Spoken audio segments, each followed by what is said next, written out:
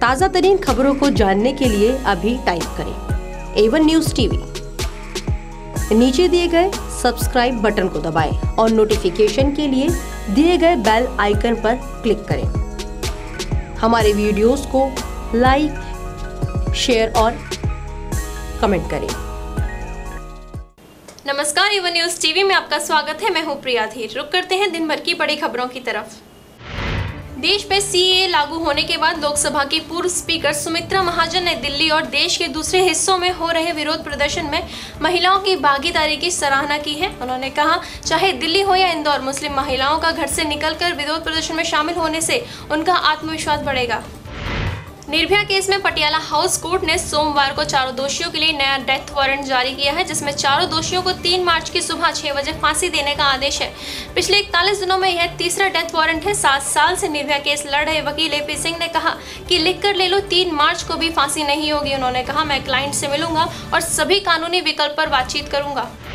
योगी आदित्यनाथ सरकार ने वित्तीय वर्ष 2020-21 का बजट पेश कर दिया है। सरकार ने पाँच लाख बारह हज़ार आठ सौ साठ करोड़ बहत्तर लाख रुपए का बजट पेश किया है। पिछले वित्तीय वर्ष 2019-20 के मुकाबले यह बजट तैतीस हज़ार एक सौ उनसठ करोड़ रुपए ज़्यादा है। वित्त मंत्री सुरेश खन्ना ने यूपी के इतिहास का सबसे बड़ा बजट पेश किया है। बजट में दस हज़ार नौ सौ सड़सठ करोड़ सतासी लाख की नई योजनाएँ शामिल की गई हैं। बजट पेश करते हुए वित्त मंत्री सुरेश खन्ना ने योगी सरकार के पिछले कार्यकाल के दौरान किए गए विकास कार्यों की जानकारी दी। साथ ही उन्होंने अपनी सरकार की प्राथमिकताओं का भी ज़िक्र किया। यूपी के बुलंदशहर ज़िले में मुस्लिम कॉलेज के छात्राओं को बुरखा न पहनने को लेकर परेशान किया जा रहा है। छात्रों ने सोमवार को एसडीएम ईशा प्रिया से मुलाकात की। उन्होंने कहा कि बदमाशों के ज़रिए उन्हें बुरखा पहनने के लिए मजबूर किया जा रहा है और उनका उत्पीड़न हो रहा है। प्रशांत किशोर ने बिहार के सीएम नीतीश कुमार पर बड़ा हमला करते हुए कहा कि गांधी और गोडसे एक साथ नहीं चल सकते। उन्होंने शिक्षा, स्वास्थ्य और जीवन प्रत्याशा पर बिहार की तुलना देश के दूसरे राज्यों से की है और उन्होंने कहा कि इसमें कोई शक नहीं है कि नीतीश कुमार ने बिहार में काम किया, लेकिन इसके बावजूद बिहार की स्थिति आज भी 2005 जैसी क्यों बनी हुई है। आतंकी संगठन जैश मोहम्मद का सरगना मसूद अजहर और उसका परिवार लापता नहीं है। सूत्रों के मुताबिक फाइनेंशियल एक्शन टास्क फोर्स की कार्रवाई से बचने के लिए पाकिस्तान नाटक कर रहा है मसूद अजहर को। पाकिस्तान आर्मी और आईएसआई आर्मी ने अपनी सेफ़ हाउस बहावलपुर में रखा है।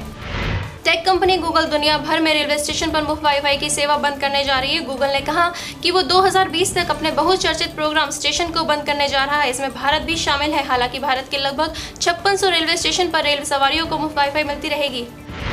चीन में कोरोना वायरस की वजह से फैली तबाही के बीच शंघाई के डॉक्टरों ने कोरोना वायरस का इलाज ढूंढ निकाला है। डॉक्टर कोरोना वायरस के संक्रमण से ठीक हो चुके मरीजों का प्लाज्मा कलेक्ट करते हैं, फिर जिन मरीजों को इलाज हो रहा है उन्हें चढ़ा देते हैं। इससे मरीजों को राहत मिलती नज़र आ रही है। असम के गुवाहाटी में फ़िल्म फेयर अवार्ड 2020 के इवेंट में एक्ट्रेस उर्वशी रौतेला बेहद यूनिक गेटअप में नज़र आई। दरअसल उर्वशी रौतेला ने इंस्टाग्राम पर एक वीडियो शेयर किया है, जिसमें वे भारी और ओवरसाइज ऑफ़ शोल्डर गाउन पहने नज़र आ रही हैं। उर्वशी ने वीडियो के साथ कैप्शन में लिखा, मेरी अद्भुत टीम के बिना मेरा सबसे भारी रेड कारपेट एक्सपीरियंस मुमकिन नहीं हो पाता। बुलेटिन में फ़िलहाल इतना ही। देश और दुनिया की तमाम खबरों के लिए देखते रहे एवन न्यूज़ टीवी ताज़ा तरीन खबरों को जानने के लिए अभी टाइप करें एवन न्यूज़ टीवी नीचे दिए गए सब्सक्राइब बटन को दबाएँ और नोटिफिकेशन के लिए दिए गए बेल आइकन पर क्लिक करें। हमारे वीडियोस को लाइक शेयर और कमेंट करें।